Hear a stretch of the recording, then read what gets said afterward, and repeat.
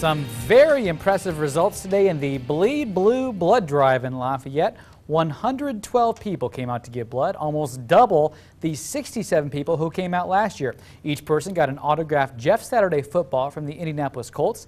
It's the 12th year for the Bleed Blue Blood Drive. It's done all month long at Indiana Blood Center locations around the state. Now, December is chosen because it's a month when blood supplies can get critically short, short due to uh, many people being out of town for the holidays.